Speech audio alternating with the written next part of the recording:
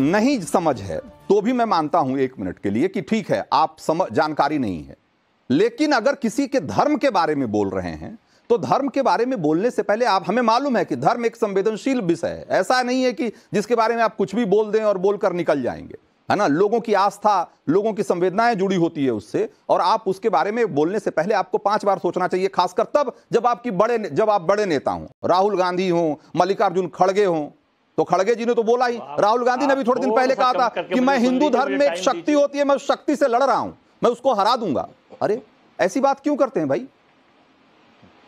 देखिए रंजीत जी निर्मल मंजन सोहमोय पावा मोहे कपट छल छिद्र ने भावा। भगवान श्री राम ने कहा कि कपटी छल करने वाले झूठ बोलने वाले बांटने वाले देश को तोड़ने वाले मुझे नहीं चाहिए। देखो भगवान श्री राम को छोटा करके हाँ। हाथ पकड़ के देश के ज्ञानी प्रधानमंत्री ले जा रहे हैं।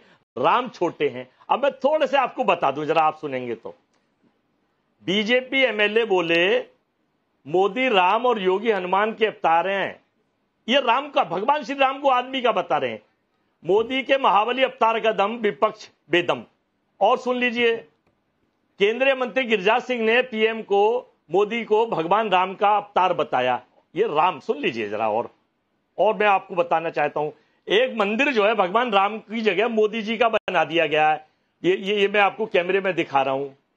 फिर फिर हिमाचल प्रदेश के मंत्री बोले भगवान शिव का अवतार है पीएम नरेंद्र मोदी। ये ये रे फ़ोटो उनके। और सुन लीजिए सरकार में मंत्री उपेंद्र तिवारी ने पीएम मोदी को भगवान का अवतार बताया क्यों? ये भी देखिए। तो मैं ये कहना चाहता हूँ कि हिमाचल प्रदेश के शहरी विकास मंत्री सुरेश भारद्वाज ने प्रधानमंत्री नरेंद्र मोदी को भगवान शिव का अवतार बताया। मैं ये पूछना चाहता हूँ कि भगवान भगवान होते हैं इनके लोग भगवान मैंने अभी आपसे कहा खड़गे जी को आप गलत साबित करने की कोशिश कर रहे हैं। ना उन्होंने कोई लड़ने की बात करी ना हाँ। वो हिंदू धर्म के खिलाफ गए। शिव कुमार डहरिया छत्तीसगढ़ सरकार में मंत्री थे हमारे अच्छे दोस्त हैं वो वहाँ से एमपी के कैंडिडेट हैं जनता की डिमांड पर।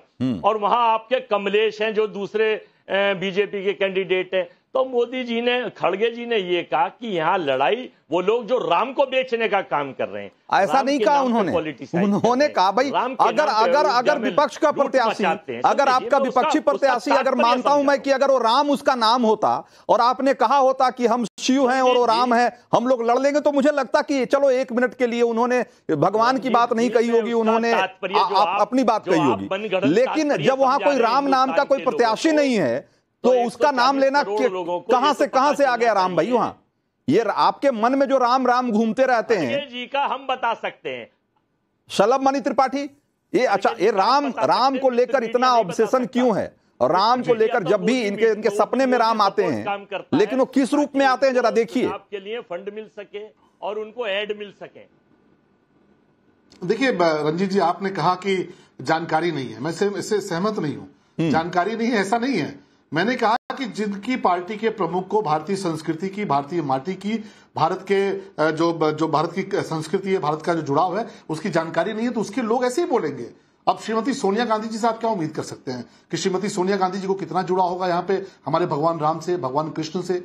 भगवान भोलेनाथ से तो उनको खुश करने के लिए और जिनकी पार्टी ये कहती है कि नहीं साहब भगवान राम तो काल्पनिक है। और तो और छोड़िए जो इनका गठबंधन है इंडी गठबंधन आप मुझे एक बात बताइए क्या इतना किसी और धर्म के खिलाफ बोला किसी गठबंधन ने किसी पार्टी ने इतना बोला है? जैसे इन्होंने बोला कि सनातन बोलने दीजिए। अजय जी अजय जी रंजीत भाई ऐसे बात नहीं हो पाएगी। हैं?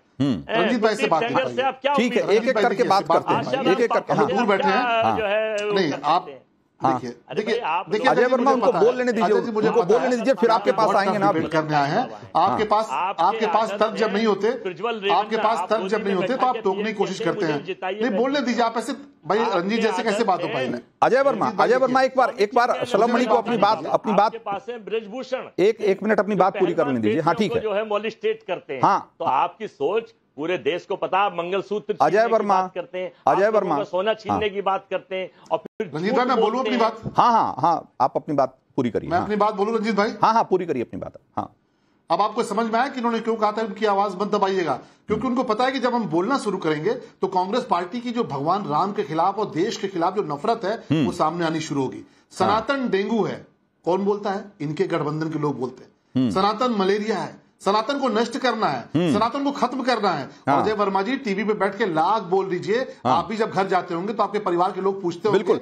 कि तो भगवान एक हाँ एक लंबा सिलसिला है एक तो लंबा सिलसिला है लंबी फहरिस्त है ऐसे बयानों की ऐसे नेताओं का की एक लंबी सूची है जब उन्होंने सनातन और राम के खिलाफ बयानबाजी की है। क्यों की है? इसके अलग अलग लोगों की राय हो सकती है। एक आखिरी सवाल है जिसका कि मैं चाहता हूँ कि जल्दी से दिखा दिया जाए कि लोग क्या सोचते हैं। आखिरी सवाल कि खड़गे शिव वर्सेज राम की बात क्यों कर रहे हैं? ये सवाल हमने पूछा था और लोग इसके जवाब में क्या कह रहे हैं? जरा जल्दी से दिखाइए कि हिंदुओं को बांटना चाहते हैं ऐसा मानने वाले लोग पैंसठ फ़ीसदी लोग हैं। राम से खुन्नस निकाल रहे हैं ऐसा मानने वाले लोग आठ फ़ीसदी हैं और छब्बीस फ़ीसदी लोग मानते हैं। राम और शिव का मतलब ही नहीं समझते इसलिए इस तरह की बातें कर रहे हैं इस तरह की बचकानी बातें कर रहे हैं। तो ये